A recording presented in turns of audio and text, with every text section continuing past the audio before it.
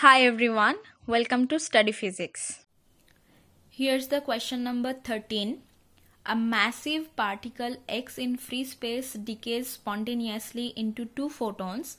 Which of the following statement is true for X? And these are the four options. Uh, option A is X is charged. Option B is spin of X must be greater than or equal to 2.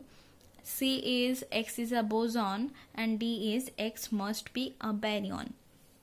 So X is decaying into photons that means gamma and we know photon particles are photons are massless and bosons and bosons are bosons have integer spin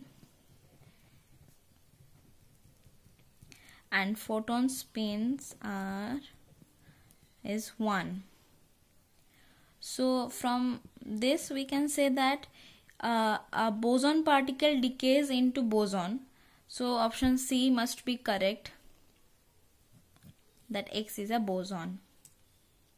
Thank you for watching this video. Please like share and subscribe